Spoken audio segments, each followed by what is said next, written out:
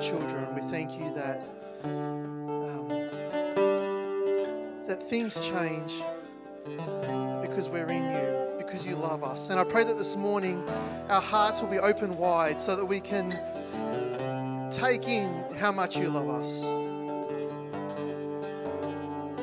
Not that we can understand that full, the fullest extent, but help us to grow and to eh, just to know more how much you care for us and how close you are to us, Lord.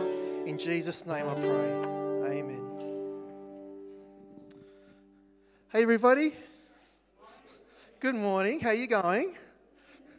You're looking well.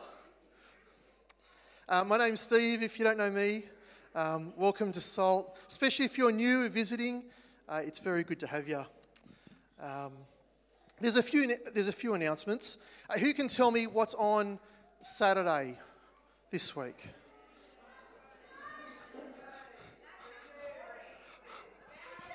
What's happening on Saturday? Uh, yeah, we, we have a, a, family fair, family fun day at the, th- at the farm. It's a tongue twister at Sassafras. And um, it'll be a great day. It's, it's, a, it's a, uh, a family day for the, the fire affected families in that area. But of course, you guys are invited too, and it should be great. There's entertainment, there'll be food available, um, and there'll be uh, games, games for the kids. Yeah, live music. A Pete will be there. So um, it'll be great. it'll be really good. Um, just a reminder as well, uh, on a serious note, don't forget to pray for people that uh, have, have health issues or medical issues at the moment. Because uh, does prayer make a difference? Yes. Does healing happen? Yes. Yeah, good work. So, uh, especially remember uh, Peter Stikey and uh, Judy uh, Wait uh, and um, Talita as well. I'm Donna. and she's even here. You're a champion. So, uh, yeah, please do remember those guys uh, during the week. That'd be awesome. Uh, unless there's any more announcements, let's do the dedication, yeah? If, um, thanks, Stuart. Okay, I think this is number three, this one. It's good to declare what we believe. So stand up. Too often you take it, I take in all the messages around me and I don't declare enough what I believe. So are we ready? Okay, here we go. We declare today that we are a new creation in Christ Jesus that he has delivered us from the power of darkness. Greater is he who is in me than he who is in the world. The Spirit of God dwells within us. We decide today to walk by faith and not by sight, and no weapon formed against us shall prosper. Our God richly supplies all our needs according to his riches and glory. We live under God's supernatural protection and God has great plans for us, and we are filled with hope for a great future. Today, as I join my values with yours, you will shower favour, blessings, and increase upon me, so I have more than enough to co labour with heaven and see Jesus get his full reward. Amen. Amen. Okay, Pete. Would you like to come up? Oh, and let's take up the offering now. If, uh, if someone has those, those uh, baskets, that's great. Thanks, Pete. Thanks, Steve. And kids can go. Down the red carpet. I haven't seen the red carpet before. That's awesome.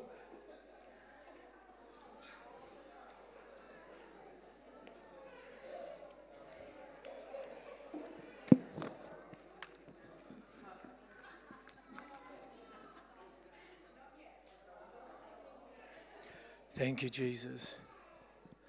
Well, it's good to be in church on a Sunday, isn't it?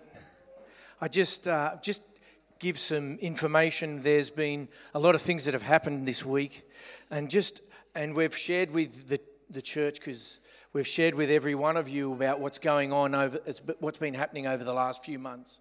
But there's been we've ha, we've been. If you don't know, Salt Salt actually employs 32 people, and that costs basically $20,000 a week to run. And it's costs, so it costs a lot of money to do that. And over the last few months, finances, grants, and things haven't been coming in. And so it's put a lot of pressure on us. And so we've got an amazing staff. And so at one stage, we went to all our staff and we said, hey guys, you know, things are a bit tight. So there's a couple of options before you. You can either have a month off without pay, two months without with half pay, or find another job. And every one of them came and said, Hey, we want to stay. So it's amazing the staff that we have because it's not just employees we have, they're family. And so things have been really tight. Um, God's been faithful, but it's been hard.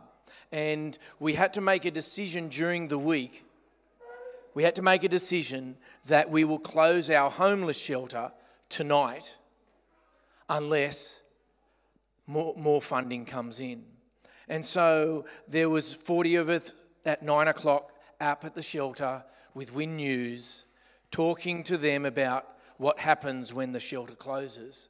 So I just, we're letting you know that we're, we are 100% committed to keeping that shelter open, but it will close tomorrow morning until more funding is found.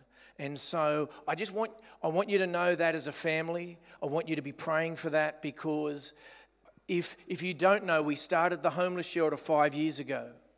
And it was started out of a response of a homeless crisis we were having in the Shoalhaven, where over 40 people were camped up at the showground.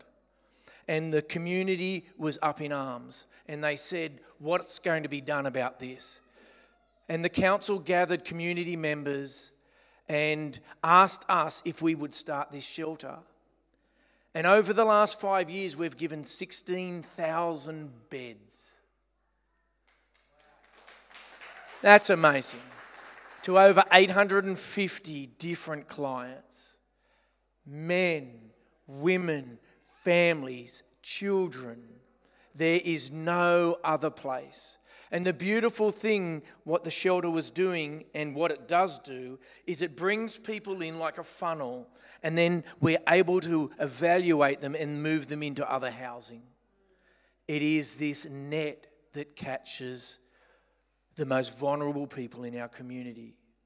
And so I, we're letting you know this, not because, well, you might be sitting here with a million dollars and you want to give us. That's okay. I will take that. But I'm letting you know because we're in this together. And I and obviously I went on the camera and I went on the TV and said, "This is not over. This will open. We are 100% sure of that." But we're just it's it's been paid for. It costs $250,000 a year to run the shelter. And it's been paid by this community for 5 years. I reckon that is amazing. And now it's about time the state government start partnering with us and help funding it. And so, so we um, that w- that will be on the news in the next couple of nights. Win News, and um, if you want to watch that, that'd be great. Share it on Facebook. Write to your local member. We've already written to them all, but that's keep it going. We will get this open. We've got they say we've got three weeks before the, the state government goes into caretaker mode before the, before the March election. So we've got three weeks to make a lot of noise and get this funded. So please be with us in prayers. Okay. Oh, yes, you can. I just want to um, say a big thank you to everyone that's worked uh, volunteered at the shelter, but not only that, all of the staff and the volunteers here at SALT. Because, I mean, a lot of the staff have now chosen to continue their work without pay, which, you know, and everybody's working out other ways to make money at the moment uh, because of the financial situation. So I just think you're amazing. You're all amazing. And um, just to be in a culture and a family that, I mean, obviously not everybody can live like that, but to be in a culture and a family where people want to stay, you know, they want to stay if they can, and they want to continue serving because not, you know, everybody needs money to pay the bills, but for all of us, and I think it's how SALT started, it was never about that. It's about a call of God on our lives. And that call of God stands in season and out of season. Stands when it rains and it stands when the sun shines. You know, and we will continue to love the poor and the vulnerable and those in our community, even if it changes shape slightly. You know, that's, that's the call of God on us as believers. And, and that's who we've called to be. So I just want to thank all of you because I think you're amazing and I don't want to do life without any of you. And like even, I mean, Jo passed her job over several weeks ago and has started a wonderful new job, but she's here today too because this is close to her heart. You know, all the people that have sown their lives into this shelter and into salt. It's all of you. And we just say thank you. And Said, welcome back. Welcome back. Said's been away for a while, but welcome back. So lovely to have you back. So sorry, I'll stop talking. That's okay. And and understand this is just a season. This is not the beginning, this is not the end, this is just a part of the journey. And it's I'm I'm actually really excited about what God's just about to do. Because I can see it, I can feel it. It's there's there's some amazing things are about to do. But this morning, I wanted to speak to you, and I've been I've been thinking about this for a long time, but I wanted to speak to you about swimming against the tide. I want to speak to you about swimming against popular opinion and walking against popular opinion because I'm not sure about you but when when I read the stories of Jesus and when I read the stories of the Bible he was a man that didn't follow the crowd. He followed his own conviction. He followed what Jesus what God what the Holy Spirit what the three of them were talking about. He followed. And I want to ask, start by asking you this question Have you ever thought about what society or what the world thinks of you? Have you ever thought about what the world thinks of you, John Sornick? When they look at you, what do they see? Have you ever thought about what the world thinks of you? I'm not sure about you, but were you a popular person at school? Were you in the in crowd? Were you bullied at school? Were you a bully at school? Who, who would the world say you are? How does the world view you? I remember in 1977, August of 1977, I was nine years of age when I was introduced to Jesus. And I was in St. Mark's, Sylvania, an Anglican church, and this man, George Guest, my Sunday school teacher, at the end of Sunday school, I met with him and he prayed for me to receive Jesus into my heart. And I can remember it so vividly because not only did he pray for me, he had this prophetic word for me and he told me all, all these things that God is just about to do in my life. He taught me that the road to salvation was narrow and the way to destruction was wide. He taught me that Jesus wasn't the popular opinion or it wasn't the norm, but Jesus would be the most fulfilling choice and life that, that I would ever choose. And at that point, I said to Jesus, Choose me. I, I want to know you. I want to know you. And I met this Jesus who came to save the world, not with an army, not with a fanfare. He came to save the world with love. And this love entered my heart. It entered in in such a way that I realized that scripture in Luke 19:10 for the son of man came to seek and to save that which was lost. And I was found. I was found I was loved and I was loved that much that I couldn't do it without him. And I started to carry this radical message. I started to carry this message that He speaks over every one of us. And that is that He gave up everything for the chance of knowing you. He gave up everything for a chance at sitting beside you and knowing you, seeing you face to face, sitting with you and going, Dave, you're mine. Dirk, you're mine.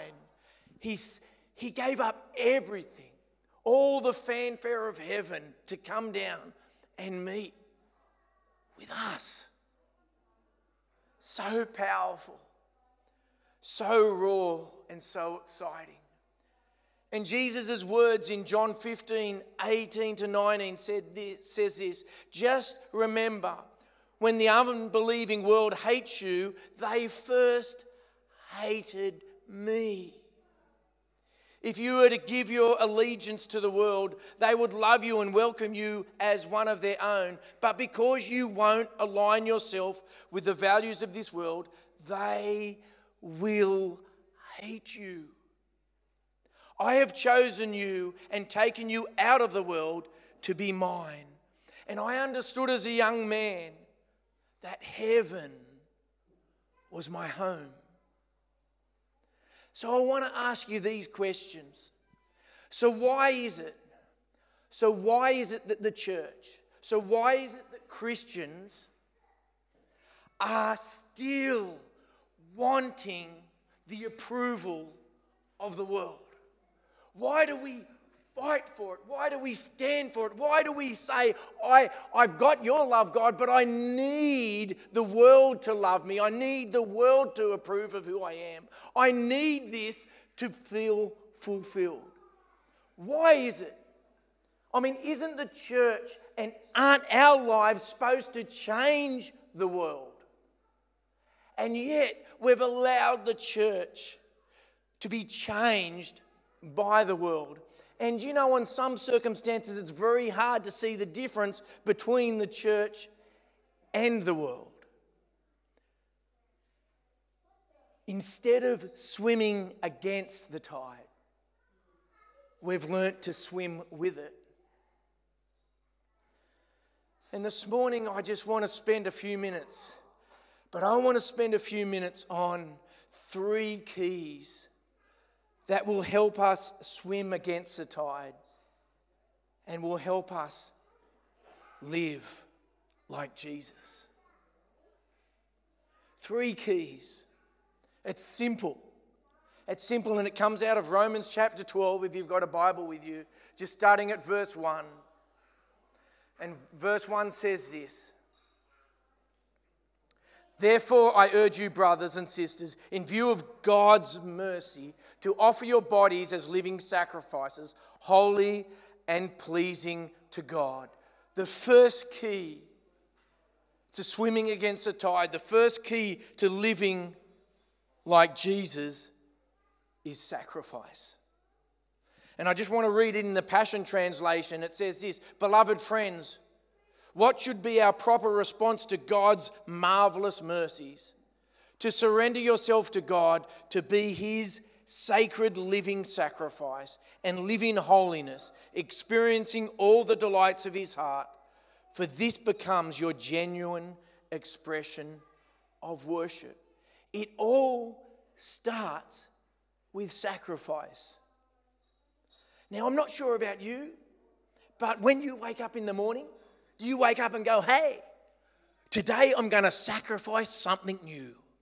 I'm going to give away something else. I'm going to let go of this thing that's been holding on me. No one likes to sacrifice. No one likes to take off what's been hanging around and lay it down. But here, here in, here in Romans 12 1, Paul's saying, hey guys, if we don't lay our lives down, if we don't lay our lives, our complete life down to Jesus, we can't truly live in Him.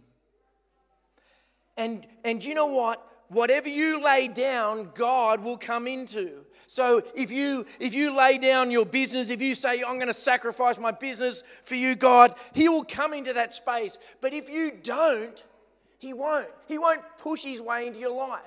And that's why the, the, sacrifice is a daily thing. It's not, it's not just, okay, God, I've given my life to you. What else do you want?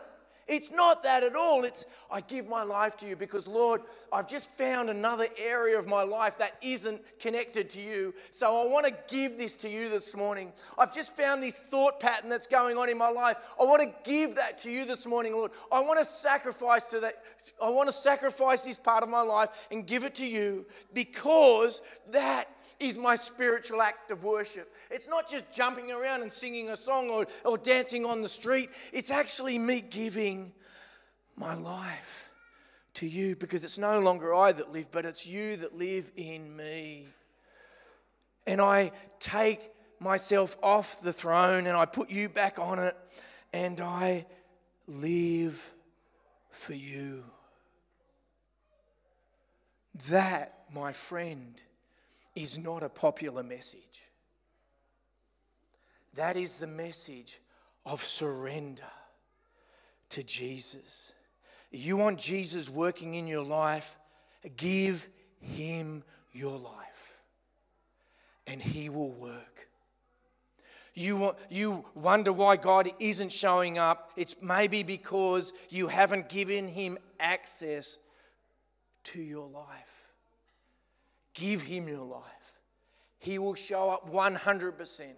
100%. I guarantee it. You give him your life, he will show up and he will show you a new way. Anytime there's a roadblock, like right now, like I, I, just shared just before I started speaking about what's going on in our community. This is God saying, Hey, I, I need to get your attention. I want to show you what I'm doing. Hey, guys, I'm doing a new thing. The rain is here. The rain comes just before harvest. I'm doing a new thing. I don't want you to just do it the old way. I want you to hear my voice. And we're in this flux at the moment. We're in this place where he's saying, just hear me. Hear me, just pause for long enough to hear my voice. Number one, it starts with sacrifice. What are you prepared to give him? I remember crying as a nine year old, going, I can't believe this guy, Jesus, loves me. It was real. What are you prepared to give him? What are you prepared to sacrifice? What are you prepared to lay at his feet?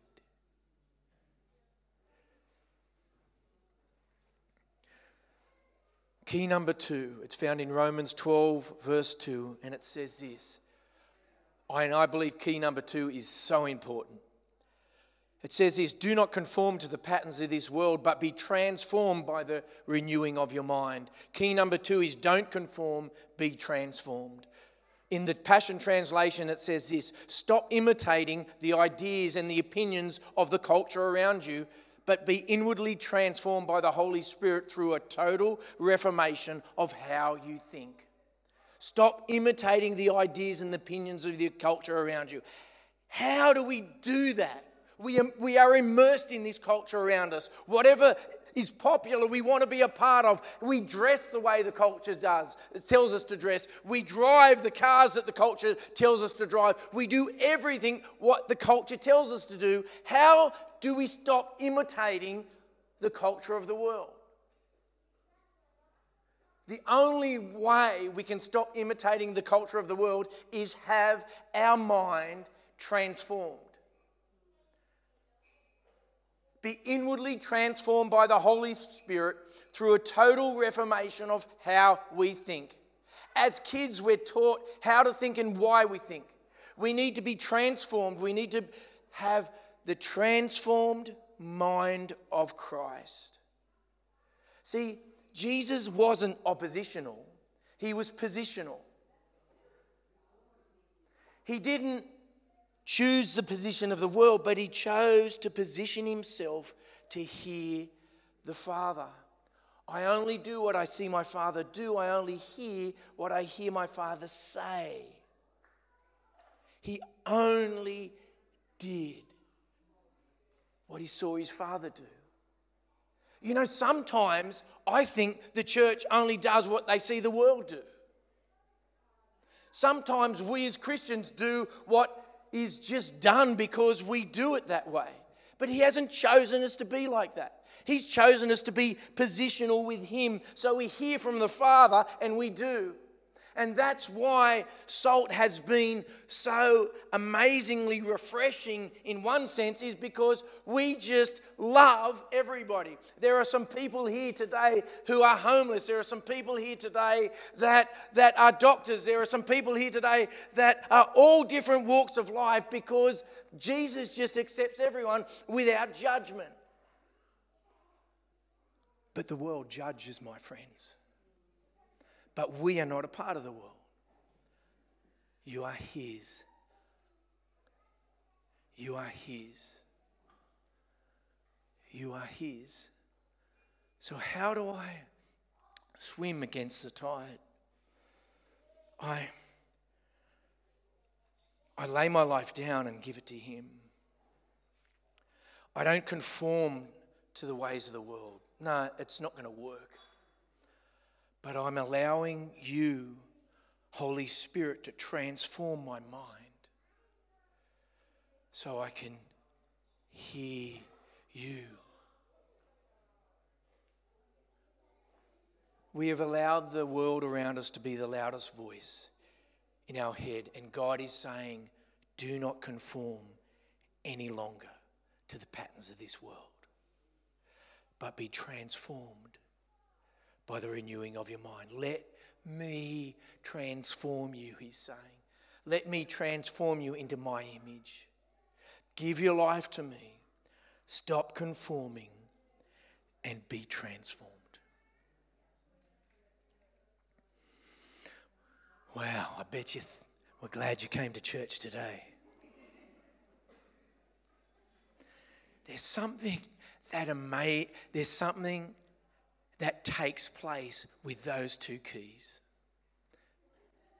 When we give our life to Jesus, when we hand over everything to Him, when we stop conforming to a pattern of the world and start being transformed by Him, there's an amazing thing that happens.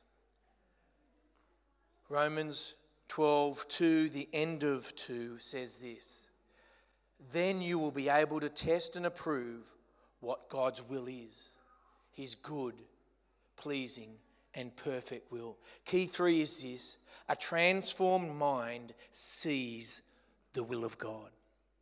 See, without a transformed mind, you cannot see the will of God. Have you ever said to someone, I just really want to know the will of God for my life? I've, I've been running aim- aimlessly for so long. I just want to know what He wants from me. If you just tell me what you want from me, I'll give it. He's just saying, hey guys, I want your life.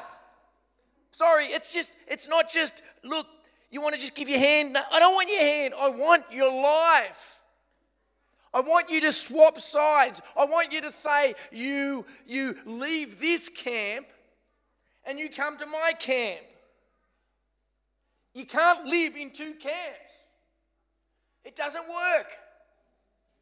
He wants your life so he can cause his Holy Spirit to run through you so you can live. So you can be exactly what he had in mind when he created you. He wants our life. He wants us to stop following popular opinion and he wants us to follow that still small voice and follow the go through the narrow gate and see him. Because he knows and you wouldn't believe this he knows a better way. He knows a lot better way. You know the world says the more you have the better you are. Jesus says you are enough. You are enough you are enough. The world tramples and forgets about the vulnerable. And Jesus came to give them life. Unless we understand sacrifice, unless we understand that we cannot conform any longer but be transformed, we will never see the will of God. A transformed mind sees the will of God. A transformed mind sees the things of God. There's, I could probably, and I'm not going to do it, I could probably point out 10 people here this morning that have come to me over the years and said, God never speaks to me. And I remember a vivid one of those 10 people. And I remember praying for that person many, many times. And I remember the day that person came to me and said, Pete, I've got it. I said, You've got what? God speaking to me. And I remember saying, So what changed? And they said, I gave my life to Him. But didn't you pray that prayer many times? You know, the sinner's prayer I give my life to you, Jesus. Forgive me of my sins, and now I'm saved. Yeah, but she said the words. But now it was done. The sacrifice was made. She removed herself from the camp of the world. She said, I'm no longer going to conform and transformation happened, and she could hear God. If you say to me, you don't hear God, I'm saying it's because there's other, there's other voices in your head. There's other noise.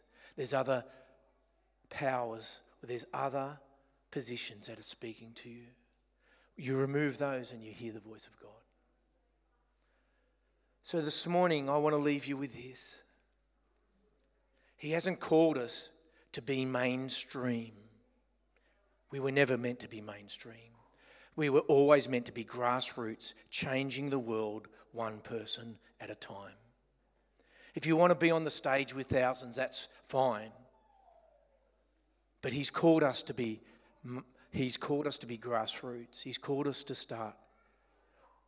It starts with me. So Father, this is, this is your living sacrifice. Do whatever you want. I'm not going to listen to the voices of the world or the, the opinion of man. I'm going to be transformed by the renewing of my mind by your Holy Spirit so I can start to see you, so I can see your plans, so I can see your purposes, because I don't want to live in the same cycle as the world around me. I choose you, Jesus, as you choose me. So I want you to just close your eyes. Can you do that? I'm not going to hit you. I want you to close your eyes and just just pray with me. So, Jesus, we, we just want to walk with you. We want to live like you. We don't want to be mistaken for another identity. We want to be seen as you, Jesus. So, Father, we just we hand over our life to you this morning, again. And Lord, if there's any area within our life that we haven't handed over to you, Father, we just find it, show it to us, and we sacrifice. We, we offer our bodies as a living sacrifice, holy and pleasing unto you. This is our spiritual act of worship. We worship you, and it's because of your great mercies. It's because of what you've already done for us that we trust you and we hand over to you. And we say, Father, take our lives as a holy sacrifice. We will no longer conform to the patterns of the world or the pressures of the world or the opinions of the world, but we will be transformed by your Holy Spirit and understand who you are because in that transformation, we can see your will. A transformed mind sees the will of God. And Father, we thank you and we praise you for that transformed mind. And we see your will and we follow your will. And even though we still make mistakes, Lord, we come back to that place, we sacrifice again, and we, and we, and we transform again so we can see your will. So I just pray, Lord, right now that you allow your Holy Spirit to minister to every person in this community. Thank you, Jesus. And we thank you for what is happening right now. Even though it's difficult, we understand change is afoot. and we rest in you. We are anxious for nothing, but we pray that your presence changes our life in Jesus' mighty name. Amen. Amen. So I want to thank you for being awesome sacrifices and allowing His presence to come alive in you, putting off those pressures of the world and being transformed in your mind so you can see the will of God. I just have a prophetic word I want to share with you um, from someone called Nate Johnston. And he put this out the other day. And I believe it's for us. To those who are building legacy right now over building empires. Few, see, the world will tell you to build your empire. The, build, the world will tell you to build your kingdom. But Jesus is asking us to build a legacy. He's saying few will recognize or see what you are building because it's an underground mission. It's a call to build low and slow while the rest of the ministry world is building fast and publicly. It's a calling that takes place behind the stage and often doesn't look glamorous. It's the call to build the family over the organisation. It's moving away from the hustle and building what is organic and homegrown. It's the call to establish deep roots that extend beyond your lifetime and build a future for the generations to come. It's a call to address generational strongholds, cycles, and injustices and break bloodlines and establish healthy ones. It's the call to set new foundations and prioritize health and wholeness over public image and reputation. It's the call to reverse the messes of the institution that built empires at the cost of leaving orphans in its wake. It's the call to forfeit the plans and goals that produce immediate results for the building and pioneering of what takes many years to show above the surface.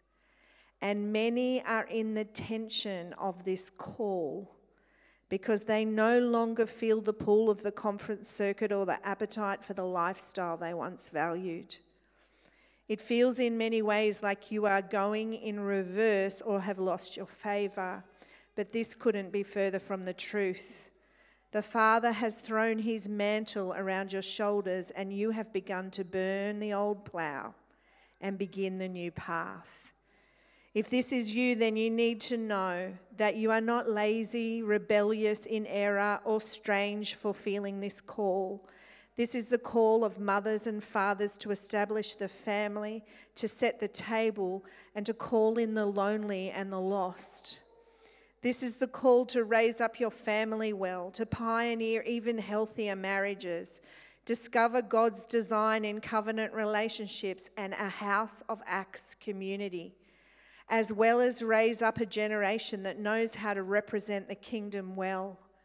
In a time where the anti family culture of the world has begun to invade the church, God has called many to the front lines to rebuild and reset the definitions and design of God's house so we can have be a force to be reckoned with. So keep going. Keep building. Keep forging forward on the unpopular path. I just think that's for us and meant a lot to me. So, can I did you want to come back up?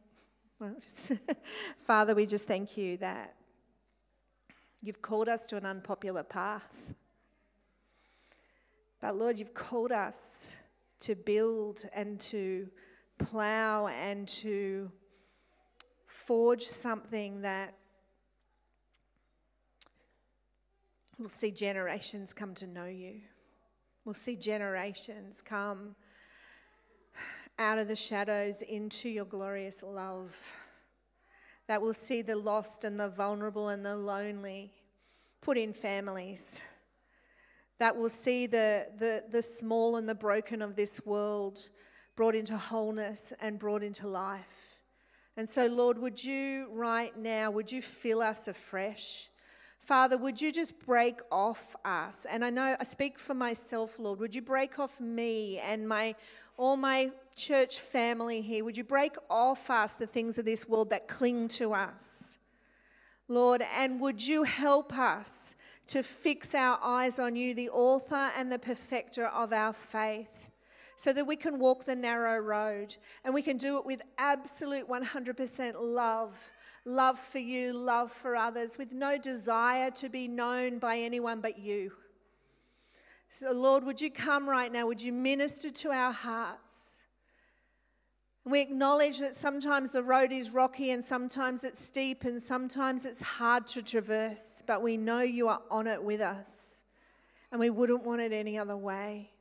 We wouldn't want to be walking any other path but the one you lay before us. So we thank you, Lord. We thank you for each and every one of us here. And Lord, we hold on to one another uh, as we move forward together in the things you've called us to. In Jesus' name, amen. Amen. Maybe we could put on a song and enjoy a cuppa. If you need prayer, grab someone, uh, grab a friend to pray for you, or you're welcome to come forward and we will pray for you here as the music plays too.